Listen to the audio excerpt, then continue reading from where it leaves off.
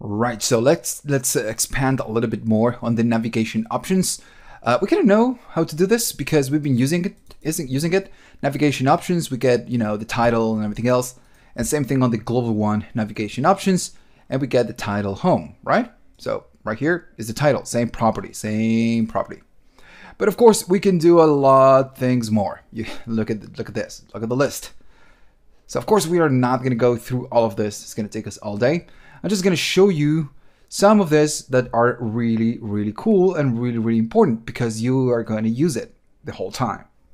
So let's assume that in your application, uh, whenever you render it, instead of just saying home, you want to show a logo. Right. Okay. So for this one, you get the header title. Now the header title, it says React element or React component used by the header. So it says right here that you could put just the default title, just like this. But if you uh, add a header title, it's going to override whatever title you're going to be passing, and you can add a React element, you know, just an image, just an image. All right, so let's let's kind of uh, do this. I'm going to bring, I'm going to pause the video, of course, and bring a logo, just a tiny icon to this uh, to this uh, directory, and then of course uh, I'm going to zip and upload that logo so you can use it. Going to use it later. Right, so of course you need to download the zip and put the images directory inside the source directory. So if we go to here, we get an animal track. So this is going to be my logo. And then you get a different one, which is this one. You know, the lines for the uh, open menu. We're going to use this one later. Okay, so I'm going to go back because I closed the project by mistake. So I'm going to go to uh, right here to app. And what I'm going to do, I'm going to create just a standalone component so we can render the header because this header title accepts a component. So we're gonna just feed uh, it with a component.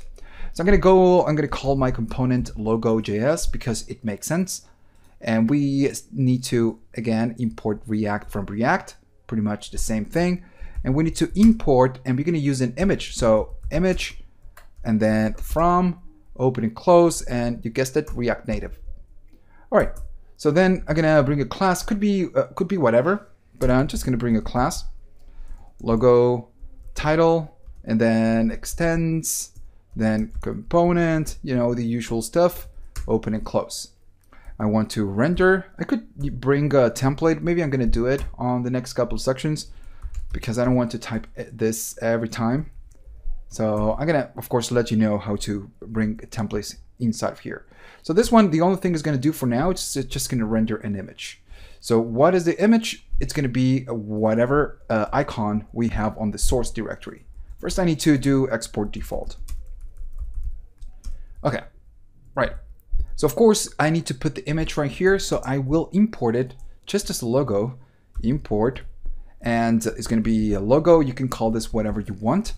And then from dot forward slash it's images forward slash and then animal track. I'm not getting the, uh, you know, the name, but that's okay. I'm gonna go and copy from here. All right, so animal track. Okay, that's good. So now, of course, I'm gonna feed it to the images. So to the image, I'm gonna say source equals, and then we uh, pass logo. Right, logo. I'm gonna give it some stylings because the logo it's uh, it's not small. I, I wouldn't say big, but it's not small. So if we add it just like this, uh, we're gonna get something weird on the screen. So I'm just gonna make it a little bit small. Width of 30 and a height of 30. All right. So of course, if we include this in whatever component in our application, we will be just rendering a logo, right? A tiny image. Now, what we can do with this is we can pass it to that logo, that logo title, that header title, sorry. So, okay, so let's do it right now. I'm gonna go back and what I want to do it, I want to do, I want to add to the Stack Navigator the navigation options, right? I'm just gonna do it maybe uh, maybe for the home screen. So I'm gonna do title, we get the home, all right. So I'm gonna do header and then title, just like this and then column. So what we're going to do, we're just going to make a reference to that import. We're going to need to make at the top import, and then I'm going to call it logo title, then from dot forward slash, and src forward slash and then logo. And that's it. That's the only thing we need to do. If I just save this, we're gonna reload it and we get the logo. So very good. Very, very good. I'm gonna go to users and of course we don't get it because if we remember on users, we are kind of uh, overwriting all of that, even with the title. Right. Okay, you know, pretty, pretty cool stuff. And it's actually pretty, pretty simple to do. You just create the component and you render it. Of course, we have much more logic inside of the navigation options. Let me just find something. Uh, you get the header back image. You could stylize the header back image.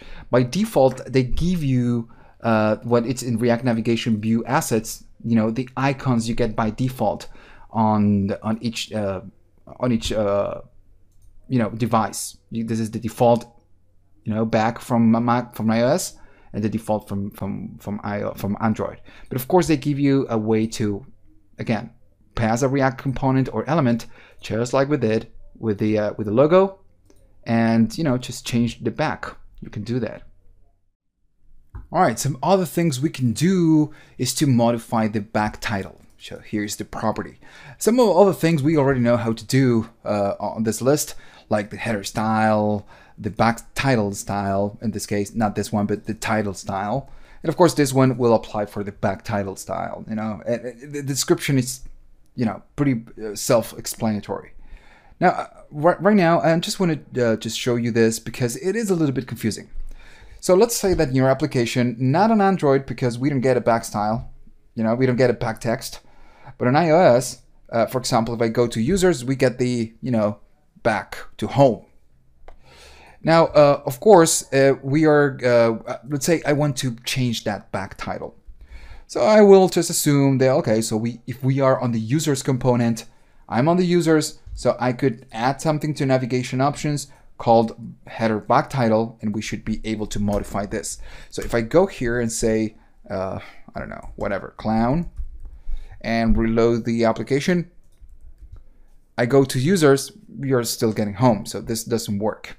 Now, if I copy this, I'm gonna remove it, go to app and add it on the defaults and reload the application, go to users, and we kind of get it. So if we add this on the defaults, this clown, this back title is gonna apply for every single route you create right here. And maybe this is not what you want. What you can do, well, actually what you will need to do is to put it on the back title, but of the, you know, the main screen. If you're coming out from home, you will need to do it there. Right, so I'm gonna go here and you know make it you know right. Let me just copy, I'm gonna delete it, comma, and put it. If I reload the application, go to users, we get the clown. So again, remember always to put it on the parent component. Now, uh, of course, again, we kind of know the other options. Uh, we get two that are really interesting. And these ones, they work just like the logo. So it says React element to display and React element or component to display.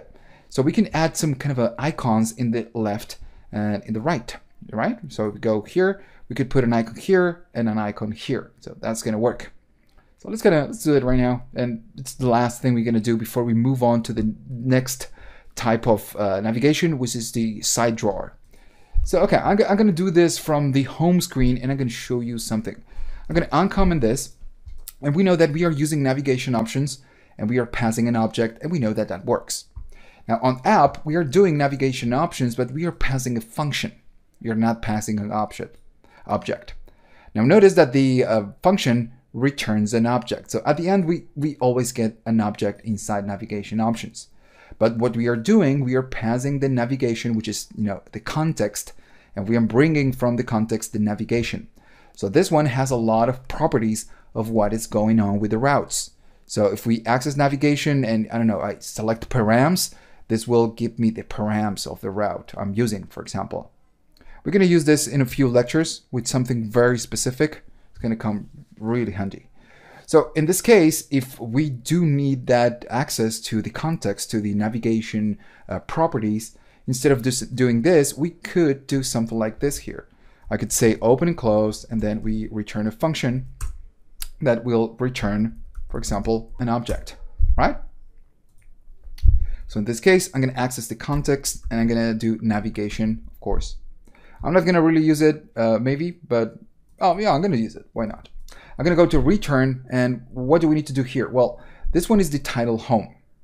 We kind of already have it on the main, I believe. Yeah, title home. So if I reload the screen, of course, we still get the logo. So that, that's okay. Now what I want to do, I want to add the left. So I'm going to say header. I'm going to say header and then left. And I'm to, of course, return a React component. Remember that this says React element or component. So we kind of need to do that. We cannot put uh, just a string, for example. This is not to work. Let me just show you. If I say J, for example, and reload the application. Okay, so it got frozen again. So let's give it a minute.